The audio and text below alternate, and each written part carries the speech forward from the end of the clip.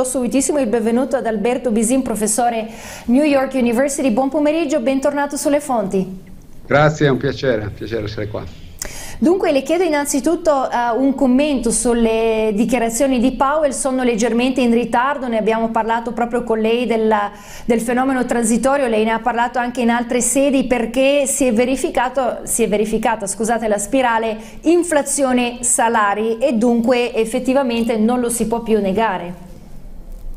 Sì, è difficile, è difficile negarlo. Um, eh, appunto Powell lo ha fatto ieri, eh, diciamo la parola transitorio sta diventando un pochino, come dire, ehm, un pochino ridicola ehm, e questa è stata, questa è la ragione per cui Powell ha diciamo, cercato di ritirarla. Ehm, resta la questione di quanto di questa inflazione sia dovuta a ragioni diciamo così eh, tecnologiche di, di, offerta e quanto invece sia dovuta a ragioni di domanda. Alla fine la parola transito, transitoria eh, voleva arrivare lì, cioè voleva argomentare che l'inflazione fosse un fenomeno di offerta soprattutto eh, e non di domanda. Oggi sembra più difficile farlo, ci sono effetti sui salari, eccetera, che ci fanno pensare che oggettivamente eh, ci siano fenomeni di domanda importanti. Insomma. Ecco, effettivamente è così. Le chiedo un commento giusto per quanto concerne il timing, perché eh, ovviamente ieri si è scatenato Twitter, ma non soltanto, anche le tv che coprono appunto argomenti economico-finanziari, effettivamente più economisti hanno eh, giudicato il timing un po' ehm, anomalo, nel senso che lo si poteva scegliere anche un, un mese fa, la riunione appunto della Fed, la riunione ufficiale prima della conferma di Powell effettivamente. Sì, sì, questo sembra, sembra ovvio, no? eh, molto, strano, molto strano che sia successo ieri, nel mezzo dell'arrivo di Omicron, i mercati erano già molto nervosi, non, non, lo so se ci sia una ragione dietro. Chiaro che è molto strano, è chiaro che comunque ci stavamo, diciamo, tutti stavano aspettando una reazione della Fed questo, al fatto che fondamentalmente... Eh, eh, diciamo, i commentatori, gli economisti e gli operatori sui mercati eh, avevano capito che la transitorietà di questa inflazione, diciamo, se anche fosse eh, comunque transitoria, cioè soprattutto di, di, supply, di, di offerta, comunque c'è un, c'è un, elemento di domanda forte, non si capisce bene quanto ancora, ma c'è. Quindi ehm, tutti quanti si aspettavano una, una, un diciamo, un posizionamento della Fed su questa, su questa dimensione evidentemente l'avevano programmato e lo hanno fatto comunque. Comunque certo, in ritardo, cioè è un po' che eh, ce lo aspettavamo, certo. Solo per capirci, eh, c'è il rischio di stagflazione essendo che hanno scelto questo momento di incertezza, noi non eh, non facciamo parte dell'allarmismo e cioè c'è la variante Omicron, non è la prima, non è l'ultima che ci sarà senza alcun dubbio, però eh, effettivamente abbiamo assistito a delle chiusure ehm, piuttosto importanti in Europa e non soltanto, proprio non ci sono i voli eh, da, non lo so, gli Stati Uniti per esempio verso l'Africa e viceversa e non soltanto, ci sono comunque, si sono interrotte insomma gli spostamenti di nuovo e quindi eh, considerando comunque il pericolo che c'è, c'è un possibile efficacia minore nei confronti di questa variante con una politica monetaria aggressiva e cioè verso la normalizzazione per quanto concerne gli Stati Uniti potrebbe come dire riportare ad una stagflazione? Ora, la parola stagflazione fa molta paura. Um, perché riporta agli anni 70, almeno a me, ehm, credo a, a, tutti gli ascoltatori. Io non vorrei andare lì e non c'è dubbio che se eh, la, diciamo, eh, la variante Omicron diventa particolarmente rilevante da un punto di vista di, eh, di infezioni, ma anche da un, da un, punto di vista di, di, di ospitalizzazioni nel caso in cui eh, fosse più severa della Delta, cioè in una situazione di quel tipo è chiaro che quello che succederà probabilmente è che ancora poca gente tornerà a lavorare, cioè, ci sarà molta tensione a lavorare di persona, molta tensione sui, sul mercato del lavoro e eh, in, una, in, un, in, un, contesto monetario dove eh, la Fed restringe questo può generare dei problemi. Io credo che però per quanto poco eh, uno possa fidarsi delle, delle, banche centrali, io credo che sappiano benissimo, siano perfettamente ehm, coscienti di questo e credo che generalmente politicamente è sempre più facile intervenire eh, dire, in maniera espansiva che non restrittiva, quindi eh, se dovesse succedere che i mercati reali ehm, come dire, ricevono una grossa botta da Omicron, io sono sicuro che eh, la Fed reagirà in maniera diciamo così, ancora una volta espansiva e anche la politica fiscale, quindi non sono troppo preoccupato, però è chiaro che, eh, è chiaro che questa è una questione, sono d'accordo. Allora, per quanto concerne invece la politica della, della BCE, che numero dobbiamo vedere in termini di inflazione per come dire, mettere da parte eh, il termine eh, transitoria anche dal comunicato stampa della BCE, poi ricordo che proprio ieri abbiamo visto i numeri dell'Eurozona al 4,9%, questo su base annuale, quindi possiamo arrotondare al 5%, in Italia quasi del 4%, in Germania del 6%, eh, in, in, Spagna credo, credo, vado a memoria, circa il 5%, insomma anche qua incomincia a sentirsi, poi per carità sono stati anni che si cercava proprio a, a come dire, aumentare l'inflazione dell'Eurozona?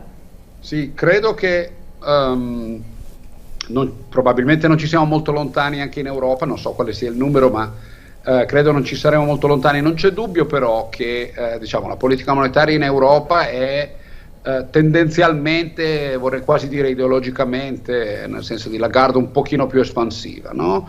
Um, in effetti queste, diciamo, uh, un, un, po' di vaghezza nella definizione degli obiettivi che c'è certamente in America con il passaggio eh, al, al, target eh, in media e in Europa che non è proprio così formale ma insomma simile, diciamo si, c'è più di, si è dato un pochino più di discrezionalità alle, alle banche centrali. Io non credo che questo sia cosa buona in generale, ma comunque c'è, eh, credo che ci sia un po' più di discrezionalità e credo che la Banca Centrale Europea la stia utilizzando. Quindi non è solo, c'è una questione reale che l'inflazione in Europa è un pochino più bassa e è possibile che sia, o ci pensiamo fo- che sia forse più di offerta che non di domanda rispetto agli Stati Uniti, ma c'è anche una questione ideologica e di discrezionalità, maggiore discrezionalità. Uh, ultimamente nelle banche centrali. Quindi credo che non ci siamo lontani, ma, ma ma non ancora insomma.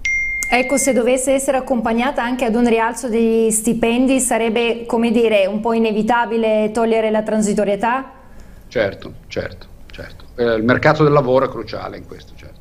Intanto volevo fare un passo indietro e tornare negli Stati Uniti giusto per capire in termini di inflazione. Oggi abbiamo visto il report dell'Ocse che afferma appunto dopo Powell che comunque l'inflazione rimarrà con noi per un bel po' di tempo, non solo negli Stati Uniti ma a livello eh, globale naturalmente, è un'istituzione piuttosto credibile per carità. Um, volevo capire l'agenda di Biden che oltre espansiva sono passati adesso più piani infrastrutturale, fiscale e così via.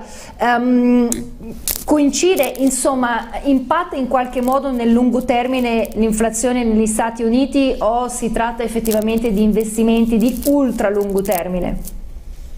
No, credo di sì, credo che eh, impatti nell'inflazione, credo che impatti molto politicamente. Um, abbiamo visto tentativi diciamo, della sinistra democratica um, di, di, di, di, girare, eh, diciamo, in generale l'inflazione fa abbastanza pa- ancora paura negli Stati Uniti, non, non, è la Germania ma fa ancora abbastanza paura negli Stati Uniti e quindi la politica deve reagire.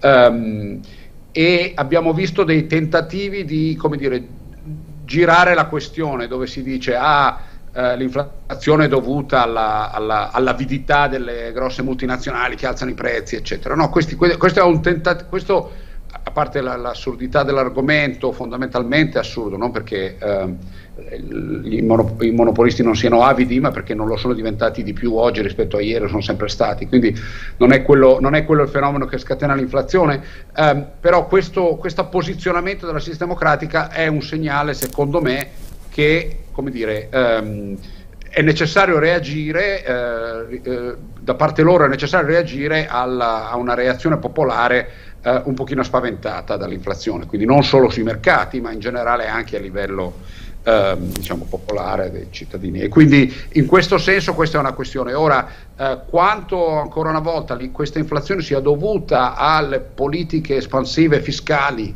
di Biden presenti e previste future eh, e quanto ad altri fattori è sempre molto difficile diciamo, distinguere, però certamente c'è un elemento, c'è quell'elemento e certamente Biden come dire, in qualche modo dovrà reagire a questo. Allora, ultimissima, uh, ultimissima, domanda che invece riguarda i modi che lei ha citato. Lui ha cercato effettivamente di intraprendere un'azione, eh, io sto parlando di quello più recente, cioè di liberare scorte strategiche di petrolio, poi in un timing importante, cioè prima delle feste di Thanksgiving, perché è ovvio che tutti gli americani sono andati a fare un weekend lungo magari e dovevano riempire la macchina no, con benzina che effettivamente costa molto di più. Poi ricordiamo sempre le dinamiche che i mezzi pubblici negli Stati Uniti, a parte New York, so, non sono proprio efficienti e dunque tutti si spostano in macchina, non si, non po, non si può non notare ecco, rialzi, il rialzo del, dei prezzi della benzina. Cosa ha deciso Biden? Di trovare, anzi di fare un'azione comune insieme con un alleato strano, e cioè la Cina, poi c'è l'India, Gran Bretagna, eh, Corea, Corea del, so, del Sud e così via e eh, liberare le scorte strategiche, poi giustamente non poteva sapere che eh, sarebbe arrivato l'Omicron a scombussolare il mercato. Come commenta questa, questa mossa? No, beh, eh, ovviamente è una mossa politica intelligente, eh, utile in generale, certo, cioè eh, quando prima dicevo che l'inflazione dire, genera reazione a livello anche popolare negli Stati Uniti, lei ha assolutamente ragione, cioè il meccanismo fondamentale è la benzina. Uh, gli americani sono molto dipendenti da trasporti eh, individuali, come appunto, come giustamente diceva, uh, vivono nei molti vivono nei sobborghi e, e fanno uh, mezz'ora, tre quarti d'ora, un'ora di commuting in auto um, tutti i giorni e poi in più a Thanksgiving eh, naturalmente vanno via, quindi eh, non c'è dubbio che eh, eh diciamo, i prezzi, i prezzi del, energetici sono la, la, la, variabile cruciale, ce ne sono tante altre, ma all'interno l'inflazione è abbastanza cruciale, quindi da, da politico intelligente Biden ha reagito su quel punto. C'è stato però poco impatto, bisogna dirlo. Beh, ha approvato, certo, poi ci sono tanti altri fattori, certo, però dal suo punto di vista questa è stata la, la, la mossa ragionevole. Eh, che non sia particolarmente riuscita, certo, ehm, è un problema per lui ed è, ed è, una delle ragioni per cui si continua a parlare della questione di inflazione, appunto a livello politico, non solo a livello dei mercati. Grazie mille ad Alberto Bisin, professore New York University, grazie per essere stato con noi e alla prossima occasione. Grazie, a presto.